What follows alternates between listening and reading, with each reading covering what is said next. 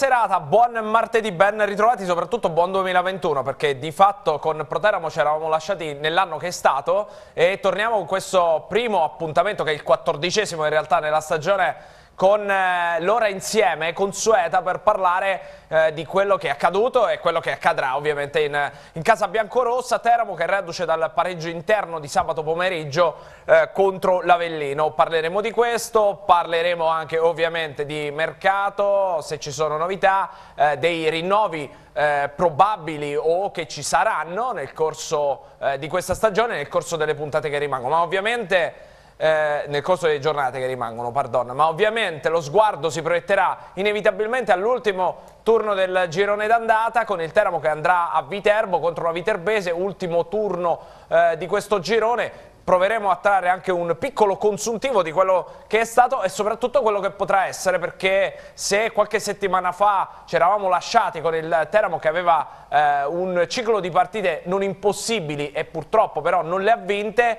eh, adesso ci troviamo di fronte a un ciclo di gare eh, molto più complicato, vedremo se magari eh, la squadra di Pace riuscirà invece ad invertire la tendenza. Ne parleremo con voi qualora lo vogliate al 392 623 7060 anche sulla nostra diretta Facebook, sulla nostra pagina in TV6 dove potete seguirci qualora non siate a casa, siate fuori con uno smartphone o un tablet, l'importante è che siate soli e che indossiate ovviamente correttamente eh, la mascherina. Eh, lo faremo con i, i, nostri ospiti. Prima di presentarli fatemi mandare un abbraccio davvero, eh, davvero tanto eh, grande al nostro Francesco Di Francesco che questa sera non c'è.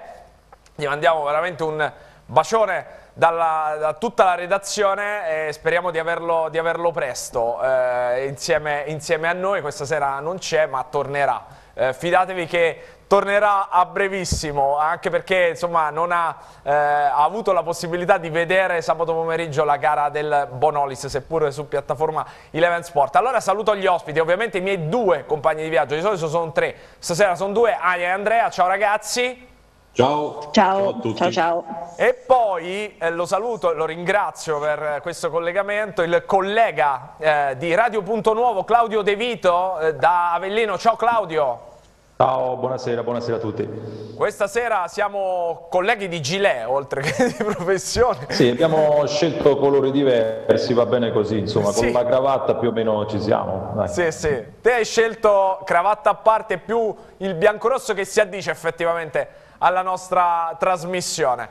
Va bene, con te parleremo eh, okay. di, della partita di sabato, ma anche e soprattutto di una volata playoff che riguarda il Teramo, riguarda l'Avellino, riguarda tante altre squadre, proprio di, di del fatto che ne siano coinvolte tantissime, ehm, eh, questo ci interessa e proveremo ad analizzarlo. Vediamo innanzitutto la classifica, poi rileggiamo il messaggio iniziale, l'ho perso, devo dire la verità, ma era in fase di presentazione, non ho letto cosa c'era scritto. L'ultimo turno ci ha detto che di fatto la Ternana, oltre che essere campione d'inverno, allunga ancora sul Bari che pareggia con la Turris e va a più 8 sulla Ternana, che Avellino e Teramo di fatto a braccetto eh, salgono a quota 28 punti, ieri sera li ha raggiunti anche il Foggia che ha pareggiato eh, all'ultimo istante di fatto contro eh, la Juve Stabia che come vedete ha una partita in meno, poi vedete tutte le altre fino alla Cavese che chiude la graduatoria con 8 punti. Ehm, rivedendo un po' le immagini, tra poco Maurizio Da Qui che saluto in regia ovviamente che ci segue sempre eh, in maniera egregia, rivedendo un po' le immagini di sabato pomeriggio, Claudio eh, io volevo chiederti un giudizio su questa partita che ha avuto dei momenti magari di maggiore intensità alternati a molti in cui però non ci sono state grandissime eh, occasioni. Ecco, tu che impressione hai avuto dal tuo Avellino ovviamente e dal Teramo? Sembrata un po' la classica partita post sosta, nessuna squadra ha prevalso sull'altra, eh, Teramo che parte con l'episodio, parte bene, l'Avellino poi stranamente fa la partita, Avellino che solitamente si scioglie come è accaduto a Bari quando va in svantaggio, però l'Avellino ecco, eh, ci ha messo un po' di eh, giro palla, un po' di palleggio, prima in orizzontale, poi cerca di andare sulle fasce e fa la partita, arriva al pareggio e poi anche qui stranamente perde un po' di coraggio e il Teramo viene fuori nel finale e, e rischia anche di vincerla, però tutto sommato ci sta questo 1-1 fatto di intensità, anche di parecchi contatti duri e abbastanza, confronti abbastanza rusticani.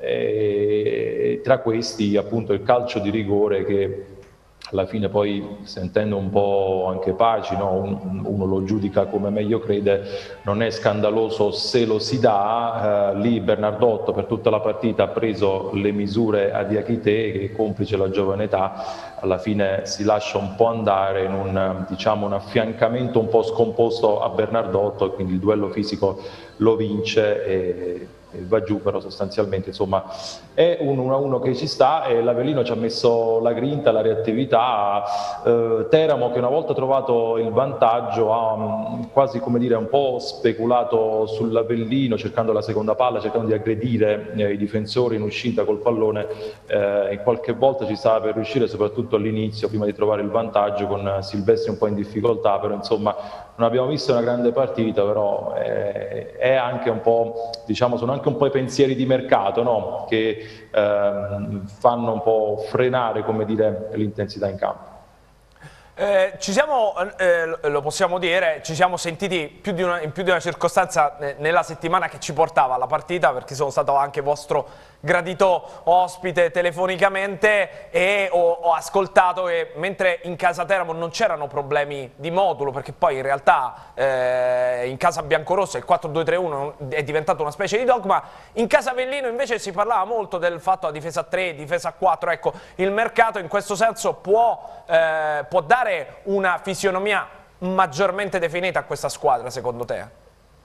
Um, il mercato dell'Avellino possiamo considerarlo finito nel senso che sono arrivati Carriero, Janes e Baraie. Ovviamente al Bonolis avete visto due calciatori, Carriero e Baraie, che ancora devono sentire la gamba, visto che parliamo di calciatori compreso Janes che nella prima parte di stagione si sono soltanto allenati ma il campo non l'hanno visto praticamente. Carriero mai al Parma, Baraie due, per due minuti soltanto con la Salernitana e Janes ha giocato una partita di Coppa Italia con il Chievo Verona contro il Catanzaro ad agosto. Dicevo, il mercato finito, attenzione alla sorpresa, l'Avrino al massimo potrebbe fare qualcosa di diverso in attacco, cioè cercare un po' di fantasia, di qualità, di spunto e potrebbe, potrebbe magari con queste due partite che ci sono davanti, Sant'Aniello andare a dire alla società o all'allenatore, visto che è diventata la quarta punta, ecco andare a dire mm, magari mi faccio un po' da parte, vado da un'altra parte a giocare e cerco più spazio. Potrebbe essere questo lo scenario, l'Avellino va avanti andrà avanti con il 3-5-2, Braia voleva fare un'altra cosa, il 4-4-2, eh, però insomma ha elementi utili che si possono adattare eh, nell'arco della partita, comunque nell'arco della stagione. Al Bonolis non abbiamo visto Maniero, attaccante di punta che praticamente tra Covid, squalifica e infortuni vari si è visto ben poco, ha determinato poco eh, fino, a, fino, adesso e eh, De Francesco che è un altro Mister X quasi in questo momento, però anche con un 3-4-1-2 può andare a fare anche il trequartista. Non Mungo però, Claudio.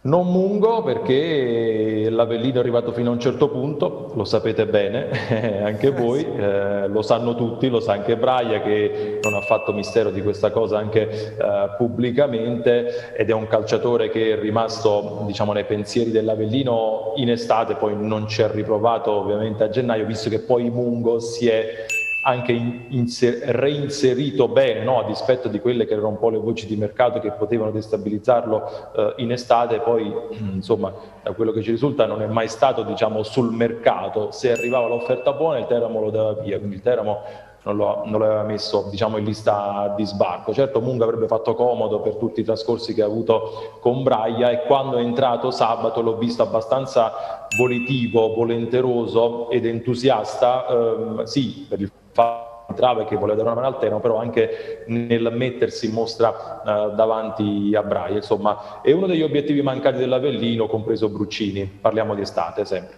Certo. tra parentesi, due ex Cosenza. Eh, ed ecco perché ci tiene particolarmente Piero Braglia, ci avrebbe tenuto a, a riaverli. Oh, leggiamo, prima di andare da, da Andrea, mi fate rileggere eh, i messaggi che sono arrivati, per cortesia, perché chiedo vegna, li, li, li ho persi. Buonasera, ieri il presidente Iachini ha detto che abbiamo dei buoni attaccanti e dobbiamo aspettare che fisicamente staranno bene, ma io dico, adesso incomincia il giro di ritorno, ma quanto tempo bisogna aspettare? Andrea, quanto tempo bisogna aspettare? Mm, non ho capito bene eh, la domanda su cosa era incentrata. Sugli aspettare cosa? devono arrivare alla condizione Beh, ma a me, a me, sembra chiaro che non c'è più niente da aspettare e, e non possiamo che mm, essere coerenti anche con quello che abbiamo detto, ma poi il campo ha dato la, la risposta che purtroppo ci aspettavamo, cioè eh, questi attaccanti eh, purtroppo non hanno tanti gol in canna. Eh, Pinzauti gioca dall'inizio della stagione e, e, certo non è che deve entrare in condizione. Eh, Bunino e Gerbi bisognava dargli del tempo, tempo è, è trascorso, eh, Bunino purtroppo è lì a zero e ha contribuito molto poco, Gerbi ancora di meno, eh, ha avuto anche meno spazio rispetto a, a Bonino, però se ha, avuto, se ha, avuto, meno spazio in un reparto che ha quei problemi, evidentemente anche in allenamento le risposte che dà non sono granché soddisfacenti il Teramo ha, ha, questo problema dall'inizio della stagione, se non si interviene sul mercato, e, e, penso che sarà difficile farlo, si porterà dietro questo problema fino alla fine della, della stagione. È un peccato, eh, però eh, avevamo individuato in quel reparto, in quella zona del campo, un punto debole e un aspetto da migliorare se si voleva essere competitivi eh, per, per, ampio raggio. Eh, purtroppo devo dire che anche se si fosse intervenuti, il Teramo è partito benissimo, ma poi ha perso troppa distanza rispetto alle prime due, soprattutto rispetto alla prima. Certo, eh, eh, il Teramo è ancora in piena corsa per il terzo posto. Eh, se il Bari dovesse crollare si potrebbe anche ipotizzare una corsa per il secondo posto, però bisogna mettere mano all'organico. Se non lo si farà eh, sarà molto dura anche mantenere il terzo posto che eh, mi riferisco alle parole del DS Federico pronunciate dopo la partita con la Vibonese, è un po' l'obiettivo eh, principale che è stato identificato in termini di, di classifica. Però eh, se si fa fatica a tradurre in gol eh, quello che si, che si, produce, bisogna a, appoggiarsi quasi solo e soltanto a Bombaggi ehm, e a Ilari con qualche tiro dalla distanza di Costa Ferreira, purtroppo si fa fatica. E ripeto, è un peccato perché questa squadra meriterebbe di lottare almeno per il terzo posto fino alla fine della stagione, perché per il resto ha dimostrato anche con tante assenze e anche contro l'Avellino di essere una squadra assolutamente degna eh, di tal nome. Quindi eh, la palla passa alla società e alla dirigenza se si vuole intervenire, altrimenti sarà difficile competere. Oh, eh, tra poco parleremo di mercato proprio con Ania, anche perché ci sono degli sviluppi ulteriori per quanto riguarda la situazione di Piacentini, che è una specie di tira e molla, insomma potremmo essere vicini alla soluzione del caso.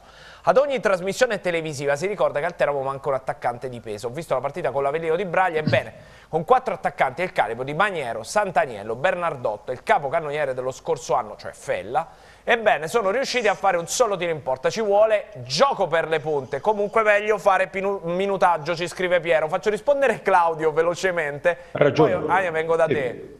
Sì, è vero, nel senso che l'Avellino non ha avuto continuità di, una, mm, di, rendimento nei singoli attaccanti, non ha avuto continuità a Brian nello schierare una coppia, un tandem eh, definito. E questo è un po' il tallone d'Achille eh, dell'Avellino. Fella 5 gol, ok, ma ancora deve fare tanto, troppo discontinuo anche lui, ci sono partite in cui sfodera dei gol pazzeschi come quello contro il Catanzaro, la rovesciata se qualcuno di voi eh, la ricorda, e partite in cui quasi si va a nascondere. A Teramo tiro dal limite prima di lasciare il campo, parata di Lewandowski, poca roba, troppa poca roba, ma mm, questo è, è, diciamo, è figlio del fatto che, come dicevo prima, mh, Braia anche per scelta tecnica fa spesso ruotare gli attaccanti, che sono quattro attaccanti, tutti di un certo eh, valore, però alla fine diciamo, alti e bassi, io definirei deludente l'apporto del reparto offensivo. Io però, scusatemi, sì. poi do la parola a Dania chiaramente, io però dissento nella misura in cui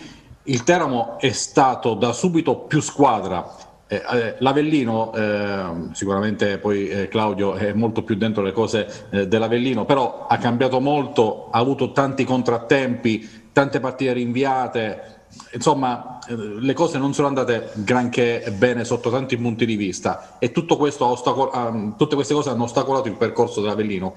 Il Teramo invece aveva imbroccato e ha imbroccato la stagione, è stata subito squadra e ha avuto subito il problema di non tradurre mm, eh, diciamo in, in, maniera proporzionale la, il volume di gioco in gol perché lì davanti purtroppo mancano dei riferimenti importanti quindi sono due situazioni rispetto a quello che ha detto l'amico da casa che io ritengo essere diverse, perché l'Avellino ha avuto altri problemi, però ha una rosa di attaccanti importante. Il Teramo invece è stato subito squadra, ma ha avuto il problema di non tradurre in gol la sua mole di gioco. Questo a me sembra eh, il nocciolo del discorso. Claudio, sei d'accordo rapidamente? No, semplicemente prima di far intervenire Ani, altrimenti credo che va via tra poco. So. Sì, oh, eh, poi, poi, in realtà, poi, in realtà, tra Claudio e Andrea, eh, se volete, da casa, eh, se mi mettete il dual box tra Claudio e Andrea, eccoli qua, eh, mi votate per cortesia chi ha eh, la parete con i quadri migliori eh, dei due. Okay. Però devi mettere dei premi in palio, altrimenti poi... Eh sì, assolutamente sì. Eh, chi ha la parete con i quadri migliori alle spalle. Ecco, eh... sì, e poi diamo la parola ad Ania. È un peccato, visto dall'esterno, vedere un Teramo così organizzato, strutturato, che gioca bene, magari non come la prima parte di campionato, però senza un riferimento offensivo, senza un attaccante che capitalizza le giocate del Mungo, del Bombaggi, del Costa Ferrera quando non gioca terzino, l'ha fatto per carità solo questa volta, del Di Francesco di turno, eh, di Ilari, è davvero un peccato. Mm. Aya, vengo da te perché ti chiedo, mercato, eh, innanzitutto partiamo con la questione Piacentini, a che punto siamo? Siamo alla millesima puntata di questa telenovela che si potrebbe aggiornare nei prossimi giorni perché ormai il condizionale è d'obbligo, forse già domani o dopodomani insomma ci potrebbero essere novità, passo indietro. Piacentini, con Piacentini c'era stata un'altra fumata nera la settimana scorsa prima della gara contro l'Avellino, sembrava che insomma ci fosse cosa fatta l'accordo per il rinnovo fino al 2022, mm, ricordiamo che era stato messo fuori lista insomma, per eh, il mancato accordo inizio dicembre sul rinnovo del contratto, messo fuori lista, la settimana scorsa appunto c'è stato questo lavoro diplomatico in atto, in accordo quasi fatto che poi all'ultimo è sfumato e quindi praticamente Piacentini è tornato fuori dai, è rimasto fuori dai convocati.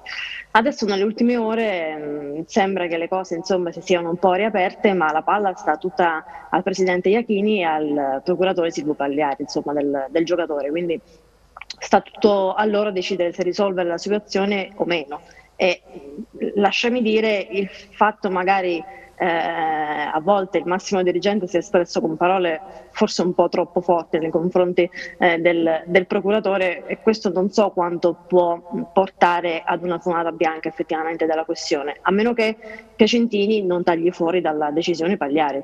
E allora poi però a quel punto Pagliari può dire ok, magari ti puoi anche rivolgere altrove per quanto riguarda insomma eh, procuratori, procuratori, vari. Quindi è un po' un gioco d'incastro eh, di cui a farne le spese in questo momento è sicuramente il giocatore, che è un giocatore valido che non sta, chi non sta giocando non sta trovando, non sta trovando spazio. E bisogna magari nelle prossime ore attendere qualche novità, ma visti i precedenti non so se saranno positivi o meno eh, attacco e poi eh, i discorsi intavolati con il Sassuolo su Santoro, Diachite, soprattutto Diachite. Eh? Ehm, per quanto mm, risulta, per quanto abbiamo raccolto anche questa mattina, in attacco ehm, non sembra che ci sia attualmente la volontà di, di fare qualcosa se parliamo di movimenti, movimenti in entrata. Eh, era circolata nelle scorse settimane l'ipotesi di muoversi per un esterno d'attacco, però anche questa in questo momento sembra messa in congelatore perché poi eh, bisogna valutare eh, evidentemente quanto eh, ci sia insomma, di volontà da parte del Presidente Iachini di, eh, di investire ancora eh, sulla, sulla, rosa per quanto riguarda questa finestra di, di riparazione di mercato e quindi al momento gli unici mh, discorsi che riguardano l'attacco sono interessamenti per Bonino, ma quindi sono movimenti in uscita, sarebbe un movimento in uscita. E non c'è attualmente la volontà da parte del Teramo di far partire Bunino perché poi ovviamente si dovrebbe muovere la società biancorossa per cercare di colmare questa eh, lacuna che si andrebbe a creare. Poi bisognerebbe anche mh, sentire il Pescara perché è un giocatore di proprietà del Pescara, ma credo che alla fine al Pescara interessi soltanto che il giocatore, che l'attaccante venga impiegato, ecco, quindi credo che sia indifferente la, eh, la destinazione di Bunino che è attualmente a Teramo e dovrebbe rimanere a Teramo fino al termine della stagione i movimenti, gli interessamenti in questo momento sono concentrati solo sul terzino destro perché l'ASIC eh, purtroppo non garantisce fisicamente eh, continuità visti i problemi muscolari che purtroppo ha ogni, eh, spesso, ogni un paio di settimane, insomma sono, eh, c'è qualche novità in negativo per il giocatore che non riesce eh, a trovare pace, è un profilo, quello che il Teramo sta cercando, esperto, ci sono arrivate riscontri nelle scorse ore per quanto riguarda eh, il discorso di Cancellotti che ovviamente non è una cosa campata in aria ma è una cosa verificata con addetti ai lavori e anche dalla società biancorossa non sono arrivate smentite in tal senso. Quindi è un'idea di mercato l'idea è il mercato può proporre magari può offrire eh, idee che in questo momento magari non sono percorribili ma che nel corso del mese di gennaio si possono concretizzare. Anche il discorso Cancellotti Mungo eh, è stata ovviamente verificata e potrebbe essere un'ipotesi perché Cancellotti non gioca a Perugia, Mungo è vero che eh, sta comunque giochicchiando a Teramo, eh, potrebbe essere un discorso Però insomma, di, di trovare più del trequartista sì, assolutamente. Al Teramo serve assolutamente un terzino destro anche perché il campo e Paci hanno confermato che prima Celentano e poi Trasciani non sono adatti, altrimenti non avrebbe mai spostato Costa Ferreira. Assolutamente. Oh, eh, eh, Andrea, Claudio, vi faccio vedere anche Ania, questa bagarre playoff dove ci siamo andati a ficcare e considerate che io, no, no, perché non c'entrava, la Juve Stabia che viene dopo. Eh, ehm, allora, io ho messo le prossime quattro partite, l'ultima del girone d'andata e le prime tre del girone di ritorno con le stelle di difficoltà Ora correggetemi, eh, insultatemi se ho messo qualche stella in più o in meno. Eh, Teramo, Avellino e Foggia, come vedete, 28 punti. Teramo per me ha il calendario più difficile eh, per due motivi. Innanzitutto perché ha tre trasferte su quattro partite. Poi perché ha una trasferta complicata, ma delle quattro sulla carta la più semplice, quella di Viterbo, poi va a Palermo, in casa con il Bari e un altro scontro diretto con il Foggia, quindi ha di fatto tre scontri diretti in chiave playoff, una partita complicata a Viterbo e di queste quattro, tre le giocherà in trasferta. L'Avellino, due stelle, Claudio, anche qui voglio il tuo giudizio, eh, un calendario tutto sommato non impossibile, probabilmente l'impegno più insidioso è Torre del Greco, alla prima del girone di ritorno contro la Turris, poi in casa con la Cavese, trasferta come detto con la Turris, in casa con la Viterbese e fuori a Bisceglie. Ci sono andato, Claudio, molto lontano dalle due stelle, abbiamo fatto una disamina per il calendario dell'Avellino, poi ad Andrea Dania chiediamo il calendario del Teramo. Sì, è così, mm, con la Cavese non esiste altro risultato se non, mm, se non, la vittoria, è chiaro con la Turris è una squadra che soprattutto in trasferta e soprattutto con le grandi si esalta, pareggio a Terni, pareggio a Bari, vittoria a Palermo, ha perso solo a Catanzaro, pareggio a Catania, insomma è una squadra che sta dicendo la sua con dei giocatori anche molto interessanti, vedi Pandolfi che davvero ha fatto un terno all'otto, il presidente Colantonio della Turris, calciatore preso a titolo definitivo, adesso eh, vale davvero oro, oro, colato. Poi è chiaro, mm, Viterbese, Bisceglie, Bavellino deve cercare di capitalizzare questa... Um, questa fase di gennaio inizio febbraio con i nuovi acquisti anche se come dicevo prima sono innesti che dovranno carburare e dovranno attendere qualche uh, settimana però l'Avellino come ricordava Andrea prima ha avuto un girone d'andata davvero difficoltoso con la fase di novembre tre settimane di stop e ha giocato otto partite anzi nove partite in 25 giorni dal 29 dicembre dal 29 eh, novembre al 23 dicembre. Ora a parte gli acquisti sul mercato, il grande acquisto dell'Avellino è giocare una partita a settimana, lasciando stare chiaramente i turni infrasettimanali già da calendario che sono 5, 2 a febbraio, 2 a marzo e 1 ad aprile, però ecco, uscire da questo tour de force eh, terribile, quello di novembre e dicembre per l'Avellino è già di per sé un grande risultato. Ragazzi, invece eh, rivediamo il calendario del Teramo e anche delle avversarie, perché poi in realtà il Catanzaro è l'unica che all'inizio riposa, ma è anche vero che il Catanzaro ha una partita in meno perché è stata sospesa la gara di domenica contro, proprio contro, contro la Viterbese. Eh, che dite del calendario del Teramo in relazione anche alle altre?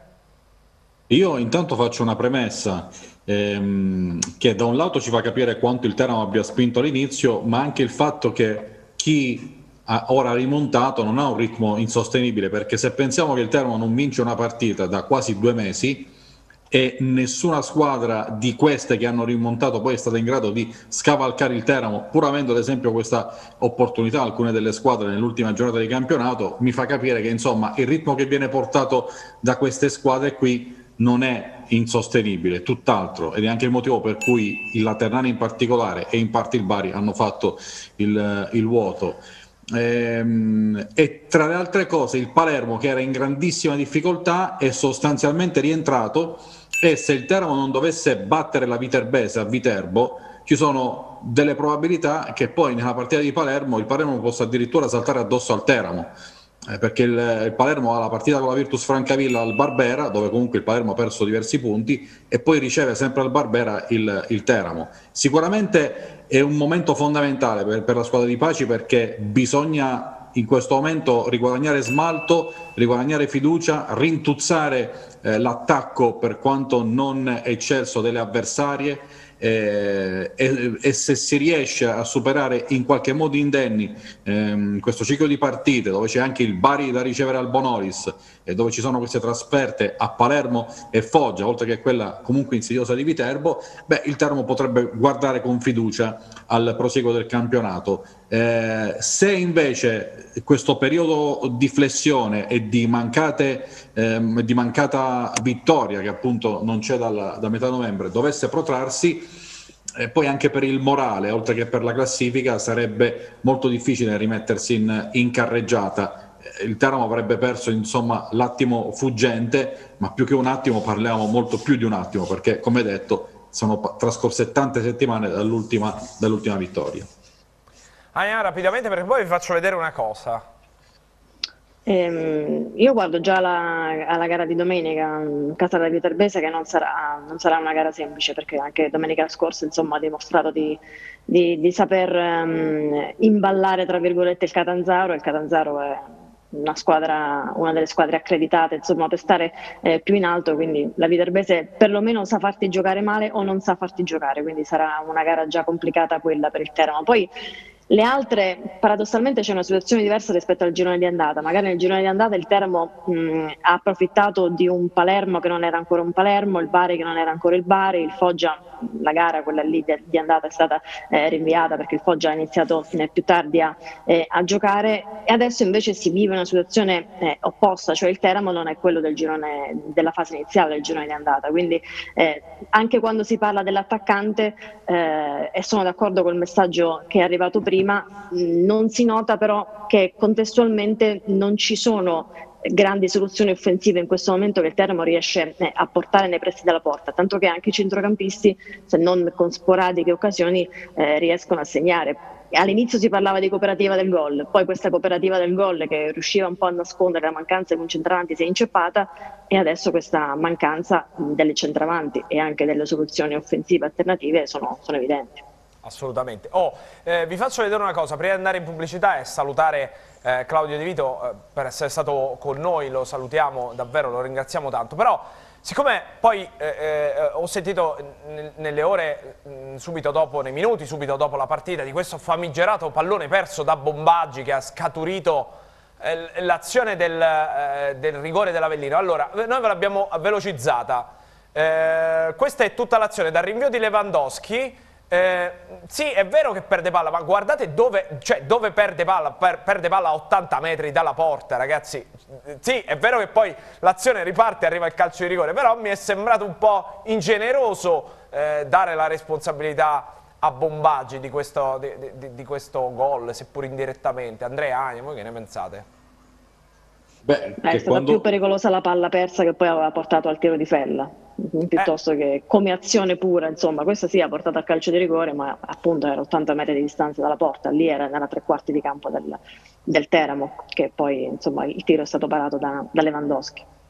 Andrea, sei d'accordo? Mm, ma assolutamente sì. Quando, quando, c'è un'azione di ripartenza, l'azione di ripartenza nasce da un recupero di palla. Lì c'è stato un contrasto, è stato vinto dal giocatore dell'Avellino, ma insomma non mi pare che eh, si sia aperta una, una prateria è stato bravo l'Avellino a, ad andare lì su, sulla, sulla, sinistra e poi eh, eh, con quel contrasto a guadagnare il calcio di rigore. Ma, insomma, mi sembra un, un errorino, ma proprio, proprio, proprio veniale. Ecco. Ino Ino, Ino Ino. Ino Ino. Eh.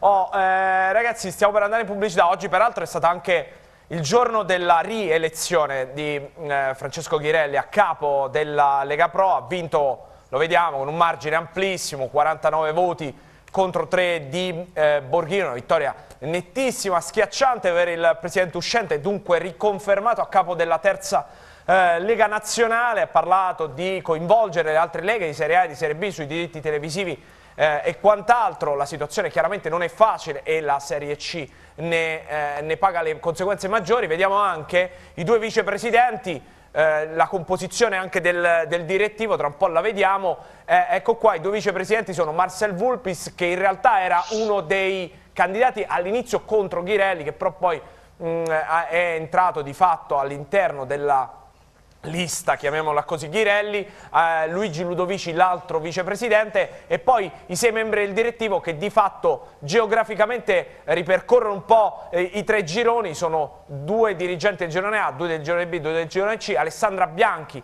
del Padova, Mauro Bosco della Vispesaro, Angelo D'Agostino caro Claudio dell'Avellino, entra a far parte del direttivo della Lega Pro, eh, Orazio Ferrari della Pistoiese, Antonio Magri della Virtus Francavilla e Patrizia Testa della eh, Propatria. Dunque le due società che hanno un membro all'interno del direttivo sono appunto l'Avellino e la Virtus eh, Francavilla.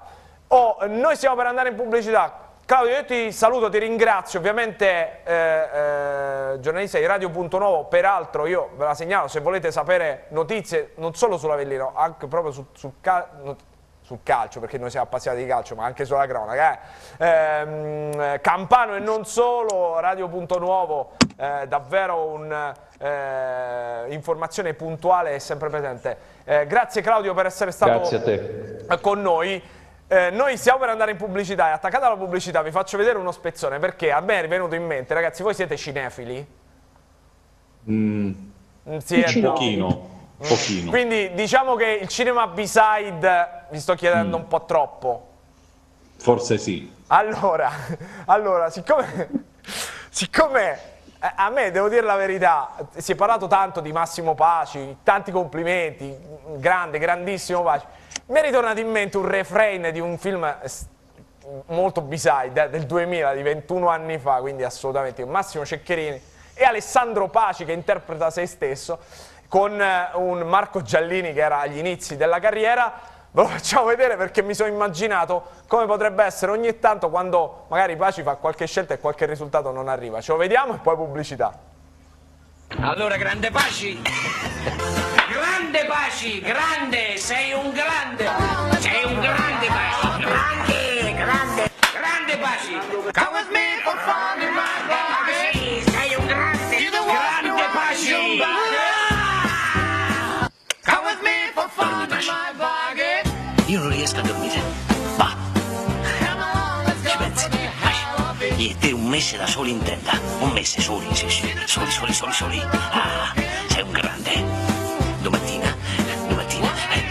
colazione al sacco, colazione al sacco e via, via, scalare, scalare, scalare, su, su, su, su, su, su. Sì, ci fermiamo sotto un albero e facciamo colazione. Eh, sei contento? Niente, su. Un mese, un mese, sei un grande. Sei un grande, grande, grande. Eccoci rientrati, seconda parte di Proteramo per uh, questa sera. Eh, allora, eh, questo pomeriggio ha parlato tra gli altri anche Costa Ferreira che insomma eh, sabato pomeriggio è stato eh, utilizzato in un ruolo insolito che ha fatto sì eh, già in passato nella sua carriera come terzino destro ed è andato, ed è andato bene il, il, portoghese. Ha parlato anche dei cali di concentrazione e poi a una tua precisa domanda, insomma ha ammesso che si vede anche in futuro sempre nel mondo del calcio seppure in un'altra veste. Lo ascoltiamo. Che a inizio campionato stavamo molto attenti ai dettagli, no? Eh, al minimo errore, al minimo sbaglio nostro. Invece diciamo, nelle ultime partite, da quando non stiamo magari riuscendo a trovare la vittoria, eh, siamo calati un po' nella concentrazione eh, totale diciamo, nei 90 minuti. forse ci sono dei momenti dei blackout diciamo, mentali in cui viene a mancare un po' l'attenzione e giustamente gli avversari poi ti colpiscono. Eh, forse è questo che ci manca ancora, eh, come ho detto in un'altra intervista, ci manca questo step, questo passo per migliorare ancora, perché il dettaglio è quello che sta facendo la differenza fino adesso, perché non è che tutte le squadre ci hanno messo sotto, anzi a livello di gioco, a livello di, di, di essere pericolosi, noi ci siamo, però ecco manca questo, questo particolare, questa attenzione ai dettagli che, che, poi alla fine la stiamo pagando. Vorrei giocare sempre ovviamente, eh, però ecco mi, mi, mi, trovo bene anche da, da esterno basso, è un ruolo che ho già ricoperto, il mister mi ha chiesto in settimana la mia disponibilità eh, non, non, ho esitato a dare, ovviamente la, ad essere disponibile in quel ruolo perché lo conosco bene, l'ho fatto, quindi non, non, ci sono problemi. Il nostro lavoro siamo sempre sotto esame perché poi eh, dobbiamo parlare sempre in campo, o, o, se, o, sei in scadenza o c'è il contratto di tre anni, alla fine conta poco, nel senso che deve essere il campo quello a parlare, eh, le prestazioni, il far andare bene la squadra, quindi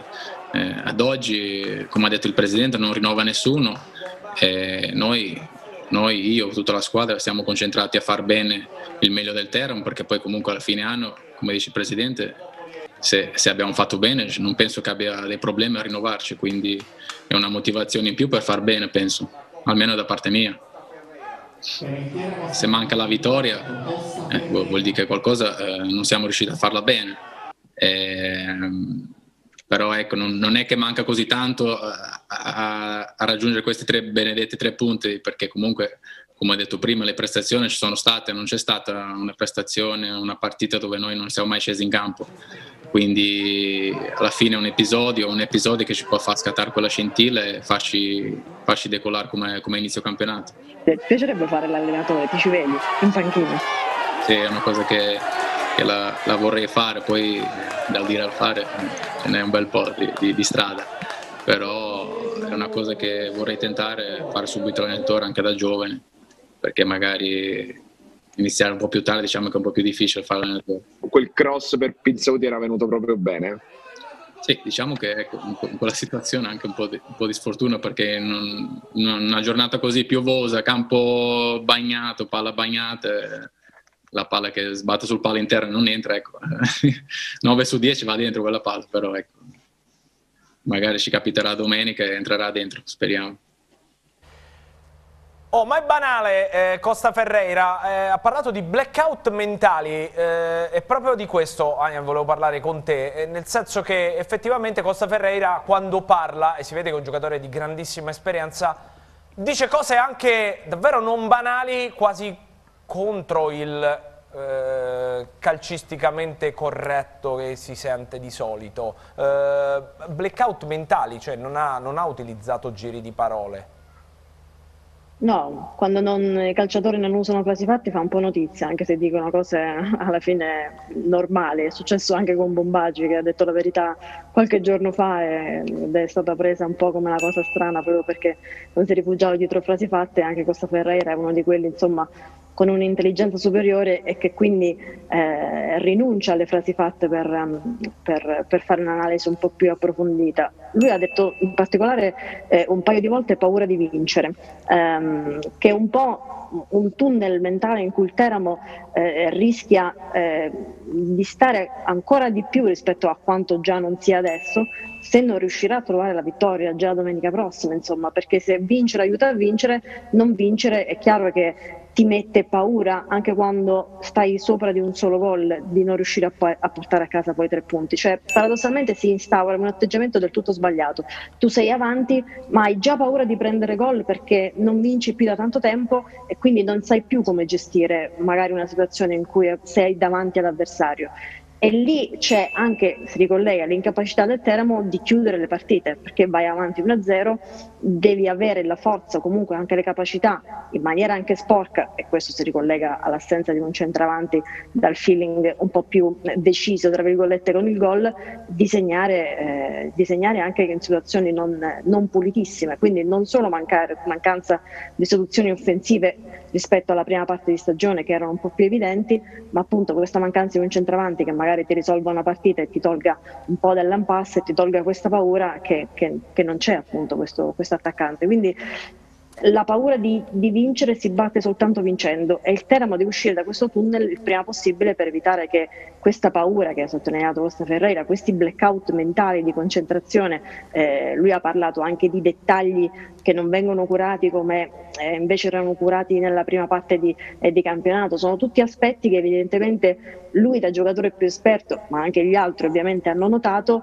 ma che in questo momento il Teramo non riesce eh, a, a, a, superare. Prima magari c'era l'entusiasmo, poi come ha detto mh, Andrea eh, la settimana scorsa, un paio di settimane fa, non ricordo, la sconfitta contro la Ternana ha cancellato un po' questo entusiasmo che il Termo aveva inizialmente e ha mh, forse un po' mh, eh, reso il Termo più debole, tra virgolette, per quanto riguarda le, la propria consapevolezza personale, la propria fiducia nei mezzi e quella fiducia che invece la, la formazione di Paci deve ritrovare. Eh, Andrea ci hanno scritto se va via Bombaggi attenzione perché siamo fregati ma io non credo che i destini di una squadra possano essere legati a un giocatore seppur importante come Francesco Bombaggi cioè, non me ne se voglia eh, Francesco ci mancherebbe no però. ma mm, bisogna capire quelli che sono i piani perché mm, anche eh, oh, questa squadra è forte perché veniva era stata costruita per essere molto forte e competitiva poi alcuni elementi sono andati via, altri sono rimasti, ma nel complesso questa squadra è rimasta forte e Paci l'ha fatta rendere bene, soprattutto eh, nelle prime giornate. Ora eh, c'è questo fatto di non rinnovare subito, poi bisogna vedere cosa fa realmente la società, cioè non rinnovi ma provi a coltivare il bombaggi di turno, il, eh, altri giocatori in, in scadenza marchi le situazioni, cioè se ci sono club che eh, stanno adocchiando e che possono proporre un contratto eh, altresì importante a questi giocatori e magari tu cercherai più o meno di pareggiare l'offerta o se non puoi pareggiare comunque di convincere eh, con la progettualità i giocatori, cioè eh, farà questo il Teramo oppure a prescindere dal rendimento sotto sotto c'è volontà di non eh, rinnovare questi giocatori perché hanno alcuni di loro degli stipendi importanti e, e, non si vuole più percorrere questo tipo di strada, il che comunque è assolutamente legittimo. E su questo io penso che la società, se non subito, ma comunque nelle prossime settimane, nei prossimi mesi, po- dovrà, potrà e dovrà essere più chiara perché poi si può restare, se il Teramo, mh, ora è difficile faccia primo, quasi impossibile, magari farà i playoff, non si sa come andrà, se dovesse ripartecipare a un campionato di Serie C può farlo mediante altri presupposti, facendo una squadra veramente più giovane, perché ora ci sono giovani, ma ci sono anche eh, per, giocatori attempati e maturi, si può fare un, una rosa ben più giovane con qualche senatore, puntare alla loro valorizzazione e, e, e diciamo così, ristrutturare anche, anche, il bilancio, ristrutturare il budget, ripensarlo. Ma queste sono scelte logiche che, logiche, giuste che... Cioè se vediamo i giocatori in scadenza, secondo te di questi quali rimangono? Se vediamo la schermata dei giocatori in scadenza, se, se, ponendo ad esempio che il, il tuo ragionamento sia corretto. E, e allora io di, que, di, quelli, di, quelli, che vedo, io penso che pot, potrà restare, o meglio, io, ma questo è un mio pensiero, si farà il possibile per tenere un giocatore come Ilari, eh, magari tenere un giocatore come Iotti, ma senza necessariamente che sia un, un, titolare. Magari Iotti può essere un rincalzo di una coppia giovane, tipo la coppia giovane che ha giocato eh, l'altra sera contro, contro l'Avellino. I giocatori che tra virgolette costano un po' di più, tipo il Costa Ferreira, tipo il Bombagi, eh, forse eh, di loro si farà a meno. Tentardini è un altro giocatore che potrebbe restare eh, anche in questo progetto, ma io penso che con il campionato che sta facendo Tentardini sarà stato adocchiato, sarà adocchiato da club che saranno ambiziosi. Poi non so se lui vuole riavvicinarsi al nord eh, oppure se gli sta bene, comunque ehm, è un professionista, giocare anche lontano eh, da casa, da, dai suoi territori di riferimento. Quindi insomma, eh, vediamo, però tutto sta nel capire quella che sarà la prossima progettualità del Teramo, perché l'attuale progettualità nasce dall'estate dell'acquisizione del, del club e, e c'era un ragionamento in grande. Poi le cose sono cambiate subito, a giudicare insomma, da, da quello che è successo eh, successivamente e quindi ci può stare che eh, la prossima progettualità, quindi quando ci saranno tutte queste scadenze dei contratti, bisognerà rinnovare, ristrutturare la rosa, magari sarà una progettualità diversa, quindi più giovani meno senatori, meno giocatori che costano notevolmente e lo stesso cercare di fare un, un, campionato, non per questo un campionato solo e soltanto a salvarsi. Se si ha il giusto occhio e il giusto acume, si possono fare squadre economiche ma anche competitive. Vedasi il Monopoli dello scorso anno. Eh, Ania ci chiede però... perché Paci non gioca con due attaccanti? Sì, eh, eh prima rispo rispondiamo al telespettatore a casa che ci dice ma perché il, il Teramo non gioca con due attaccanti? Mm, perché eh, loro rispondono che due attaccanti già ci sono perché Bombaggi magari viene più avanti a giocare con, con Pizzavuti, con Molino o quant'altro. Oppure perché 2 più 0 più 0 che sono i gol segnati. Ah, ok. Ah. anche, anche, però poi effettivamente il il due, il due, attaccanti insieme, non, forse una partita mi pare, in una gara in corso sono stati provati, ecco, ma non ci, sono, non ci sono mai stati. Quindi mi pare una volta Pizzaguti e Bonino hanno giocato insieme, però non mi ricordo in quale, in quale gara, ma gara in corso, quindi mai, mai dall'inizio.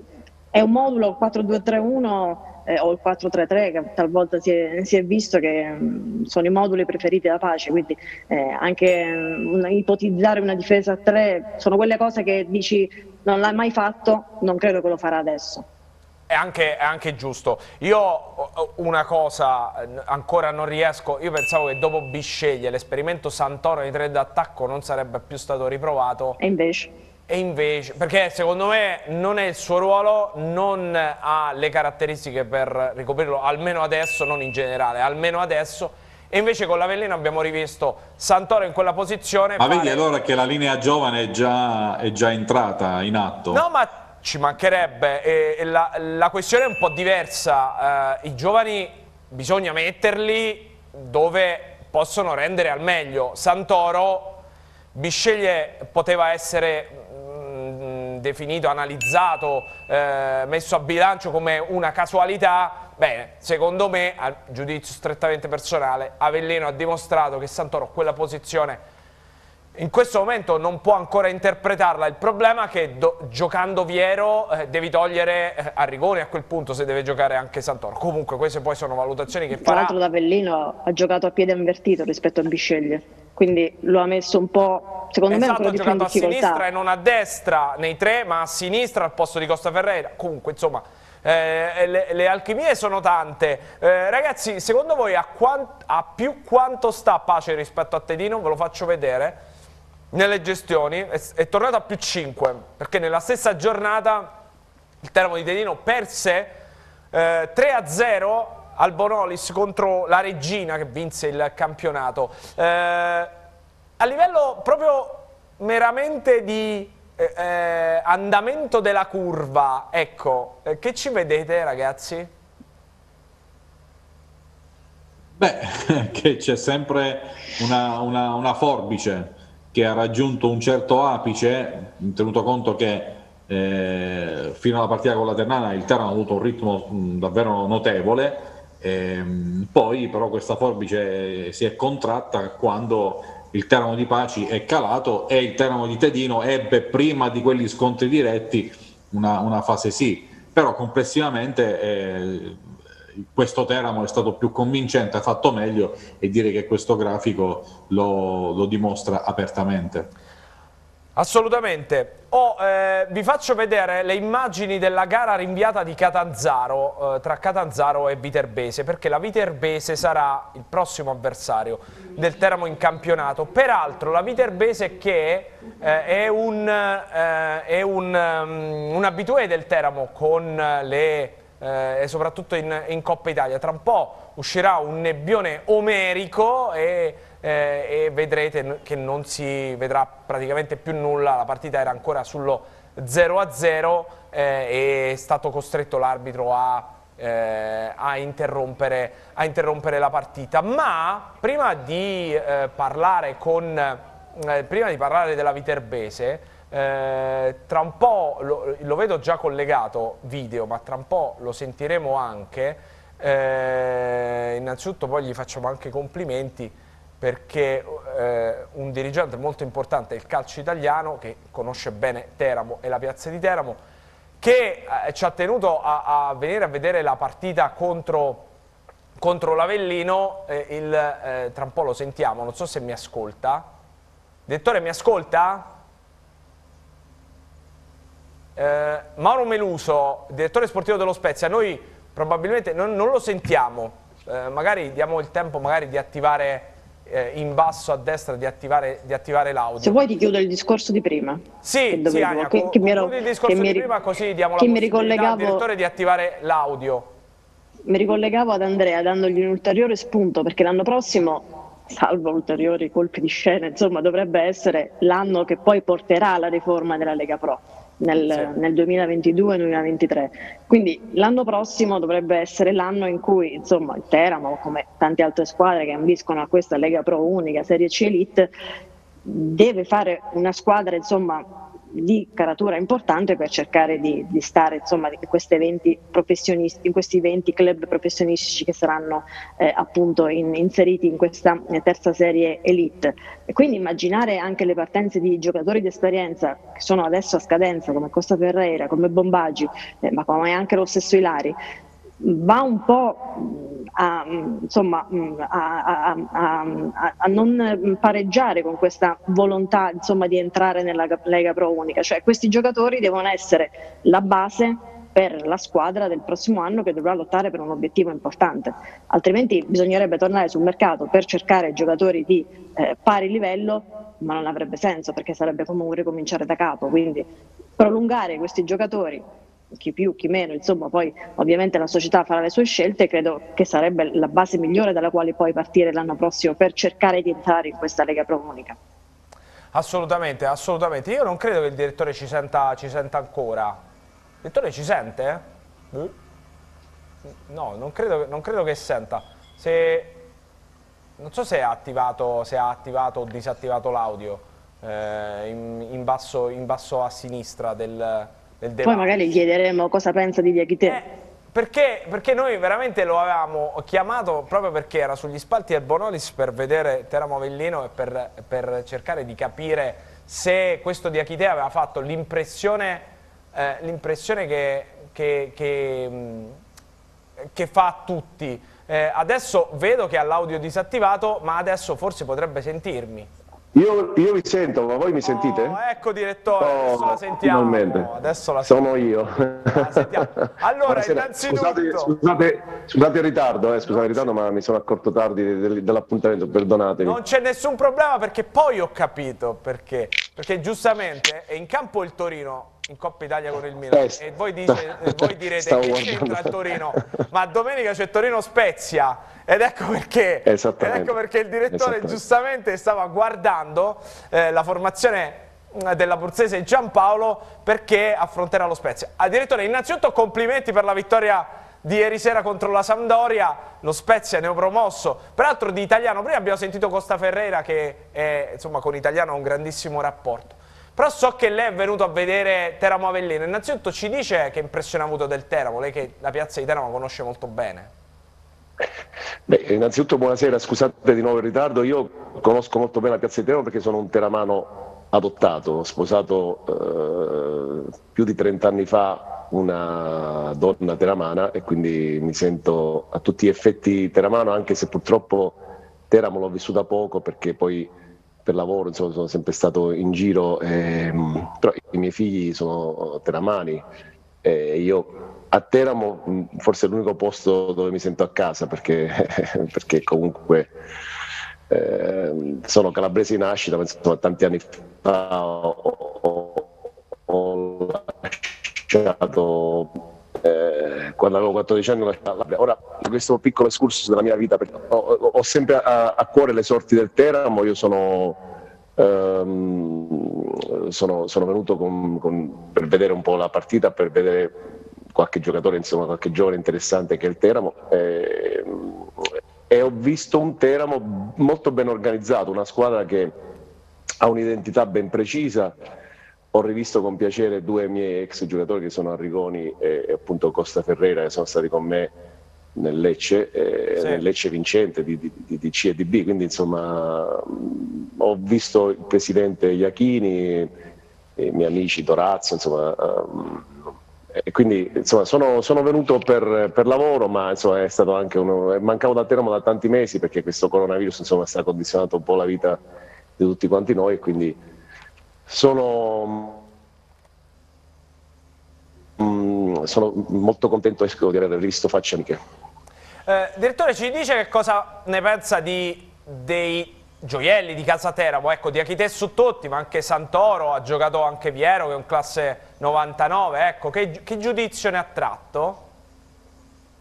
Molto positivo, molto positivo. Ora eh, non mi fate dire troppo perché insomma, poi non è corretto eh, professionalmente, no? E, e comunque insomma, dei giudizi molto positivi di tutti i ragazzi giovani, ma insomma, nel complesso la squadra quest'anno insomma, sembra una squadra eh, che ha un, un, un, modo di stare in campo ben definito che riesce a mostrare spesso. Io ho visto il Teramo anche in video altre volte, insomma, e, e riesce a mostrare un calcio propositivo, fatto sempre comunque con, ehm, voglio dire, italiano che il mio allenatore ha fatto giocare eh, nel Trapani Costa Ferreira da terzino destro e, sì. e Paci lo, lo, ha riproposto l'altra sera, quindi insomma ehm, Paci secondo me è un allenatore eh, emergente, un, un, allenatore che eh, farà strada, insomma gioca sempre con una una pro- propulsione offensiva, quindi senza pensare a difendersi, ma cercando di produrre, di produrre calcio. Poi è evidente insomma, che um, è una squadra ben costruita eh, che però sue, eh, sulla sua strada ha trovato la Ternana, il Bari, eh, eh, il Palermo, il Foggia, il Catania, sono tutte squadre di, di grande blasone, ma soprattutto credo che la Ternana sia una squadra che ha un organico che nessun altro ha in, nella, nel, nel, girone C di, di, di Serie C. Eh, direttore, le chiedono da casa se Italiano è già pronto per allenare un top club. Ma eh, io credo che Italiano abbia tutte le carte in regola per allenare una, una, una squadra di, di, di, più alto livello, però eh, insomma, io mi auguro che rimanga mh, con noi per più tempo possibile, insomma, quindi eh, mi auguro che appunto che intanto ci conduca alla salvezza che è l'obiettivo stagionale ed sarebbe per noi veramente un, come vincere uno scudetto. Eh, direttore, eh, a proposito di giovani, eh, una considerazione volevamo fare con, con, lei, poi magari le lascio una domanda di Andrea e una di Aria. Eh, in Lega Pro, quando si vedono giocatori 99, 2000, anche 2001, Ecco, quando un dirigente di una squadra di Serie A come lei eh, va, eh, si, si, approccia a categorie magari eh, inferiori, eh, quando è che si ha la sensazione che un giocatore sia già pronto per fare un salto verso categorie superiori? È un discorso abbastanza complesso, ehm, nel senso che eh, per, per, far sì che un calciatore abbia le caratteristiche per giocare nel massimo campionato insomma, eh, deve, deve, deve, essere abbastanza completo e spesso insomma è evidente che le categorie ci sono proprio perché, eh, perché per quello che si esprime no? e, ehm, e, e, spesso magari c'è un calciatore molto bravo tecnicamente che però nelle categorie inferiori io, ho, io la mia carriera è stata tutta in Serie C quindi eh, adesso non voglio fare il professore universitario eh, perché, ma umilmente vi dico che magari in Serie C si trova il calciatore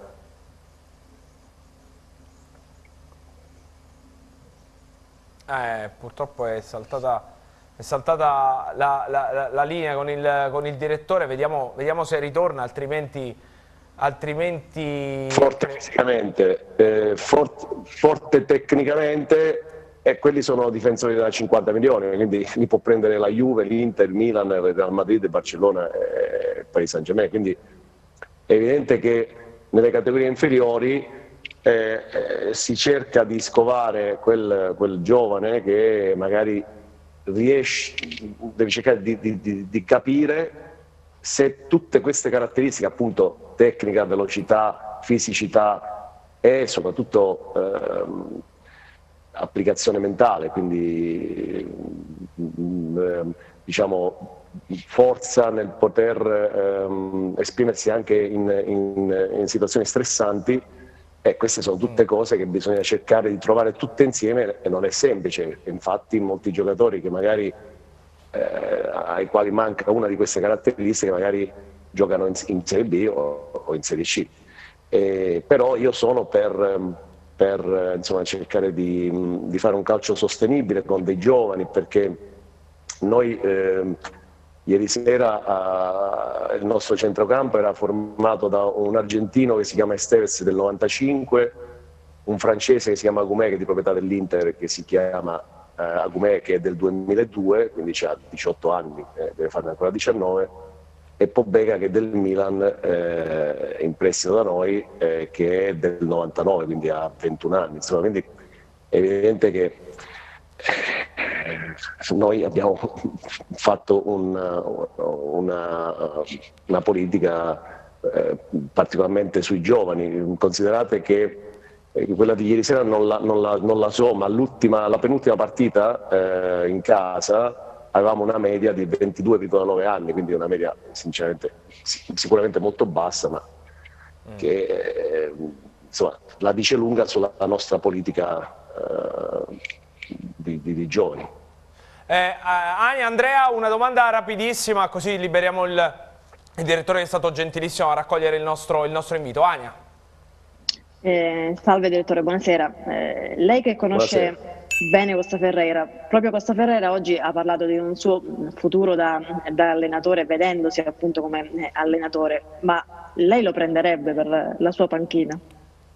ma per le qualità umane sicuramente Pedro è una gran persona, oltre che essere un grande giocatore, insomma lui mi ha dato una grande mano, io l'ho presi a Lecce quando lui stava giocando nell'Entella in Serie B e venne a darci una, una grande mano e con lui abbiamo fatto una, una, promozione, una promozione, in Serie B, dalla C alla B, eh, che è stata storica per, per il Lecce, insomma io lavoravo a Lecce fino a poco tempo fa. E, ehm, ora che lui, il consiglio che gli do è di giocare fino a quando ne può, eh, fino a quando ha, ha, ha voglia ed entusiasmo, perché eh, il calciatore è un mestiere particolarmente privilegiato, quando si smette poi guardate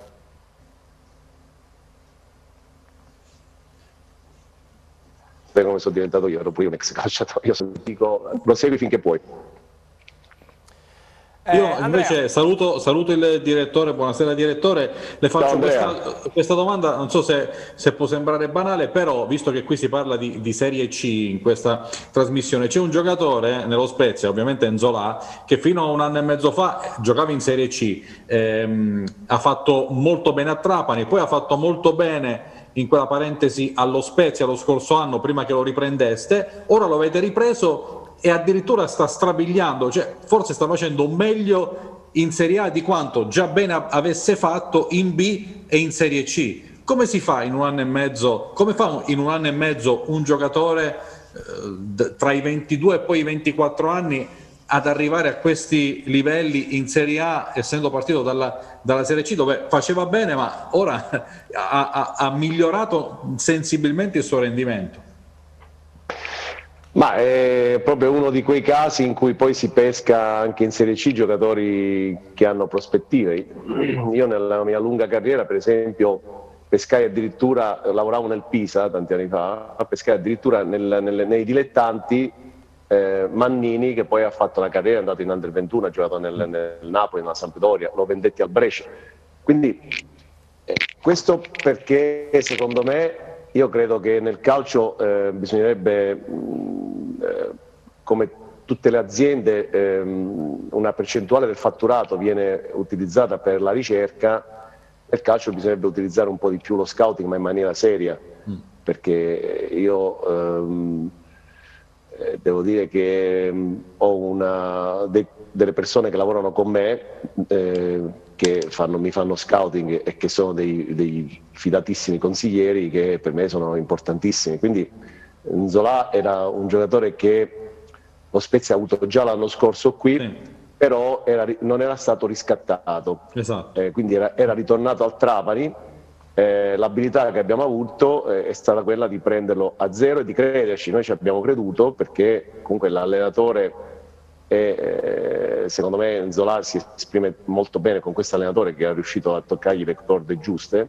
Cioè, mi, cioè direttore, praticamente Zola era ritornato in Serie C al Trapani che poi eh, ha sì. avuto quella vicenda particolare che ha portato i giocatori a svincolarsi e lo avete ripreso un doppio salto in poco tempo. Sì. Eh, beh, lui l'anno scorso, l'anno scorso, comunque ha giocato i sei mesi finali del sì. torneo eh, con, con, con, con, lo Spezia in Serie B, quindi comunque aveva già fatto la Serie B, l'aveva anche vinta, quindi insomma, tutto sommato era ritornato eh, diciamo, come tesseramento al Trapani perché lo Spezia sì. non l'aveva riscattato.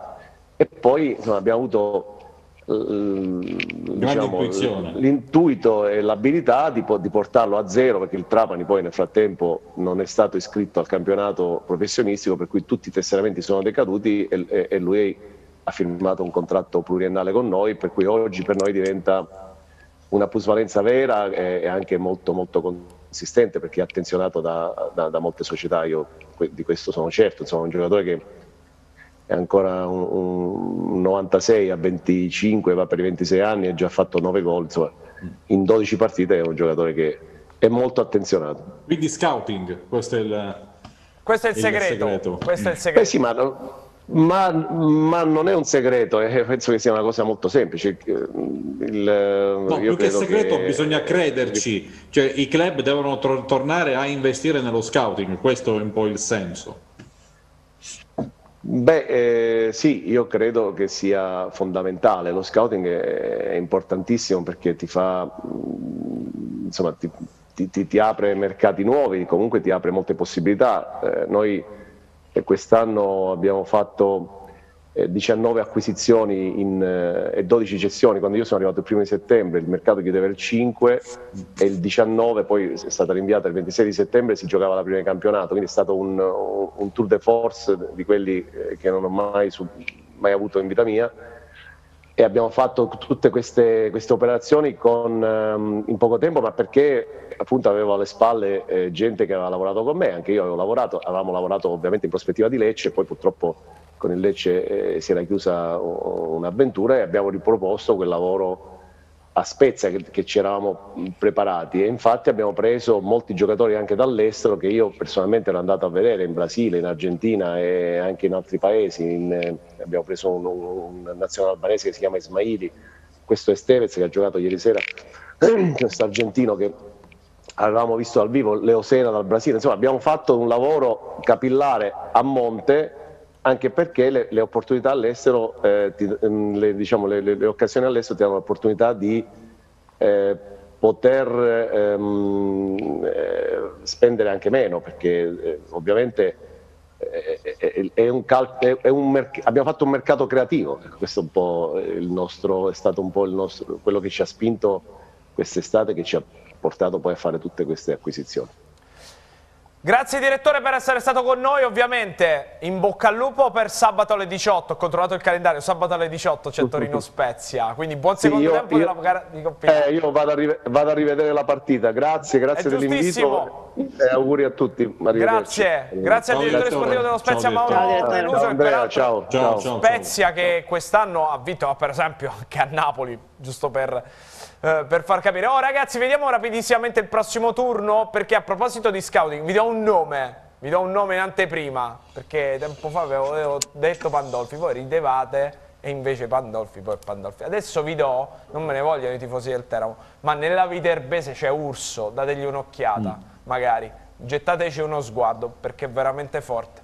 Speriamo che no, vada male. Quello però... che abbiamo detto proprio con il direttore e quello che stai dicendo tu, eh, rientra nel discorso che perché ho, ho, ho, tirato fuori il discorso Onzola con, con, Meluso, riferimento anche a quello che può fare il Teramo, cioè eh, prima ho detto eh, si può anche spendere di meno ma fare una squadra competitiva, bisogna avere l'occhio, lavoro in sinergia società, allenatore, direttori, eh, capacità chiaramente di valutare i, i, giocatori e così facendo si può costruire una squadra che magari non costerà come il Teramo dell'anno scorso e in parte di quest'anno, ma che sia eh, assolutamente competitiva. Cioè, è, è lì il nocciolo della questione.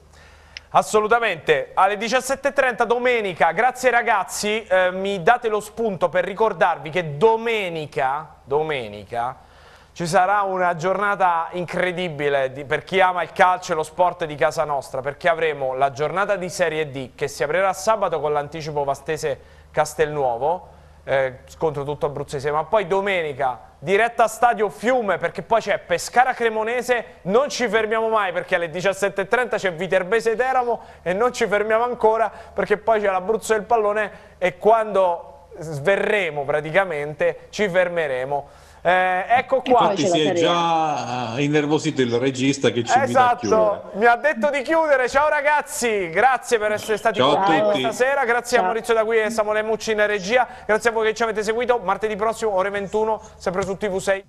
Ci vediamo settimana prossima.